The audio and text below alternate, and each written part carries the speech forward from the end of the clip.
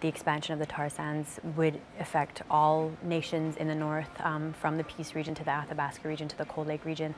And I realized that it was something that I actually had to learn more about and study because it, it has such massive impact on our peoples.